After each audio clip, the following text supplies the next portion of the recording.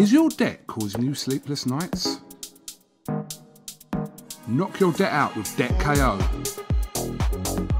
And your debt won't be the only thing keeping you up at night. Debt KO, free, impartial advice on all your debt.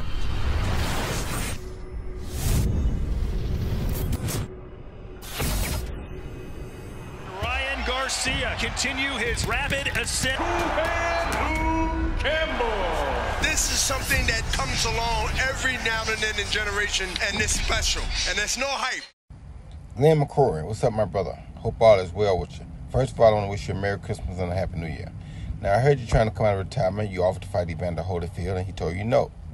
Heard you did a lot of rounds with Mike Tyson back in his heyday, and I know you want to come out and do something big, something helpful, something to give people entertainment at these tough times for us.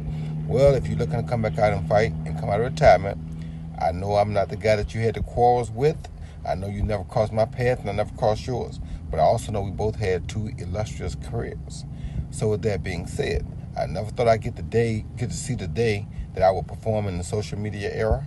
Mike made that possible.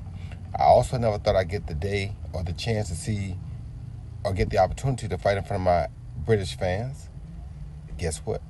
You might be able to make that possible. So, you know my friends at Tough Boxing, you know Robin, you know Simon, you know them all. You can call them. They can call me. And if you're really serious about coming out of retirement, I'm the dude that just can't say no. So if you want to make it happen, y'all know what to do. Peace. Merry Christmas again. Happy New Year. And Ryan Garcia continue his rapid ascent. Campbell. This is something that comes along every now and then in generation, and it's special, and there's no hype.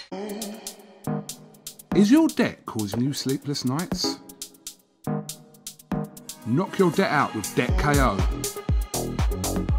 And your debt won't be the only thing keeping you up at night. Debt KO, free, impartial advice on all your debt.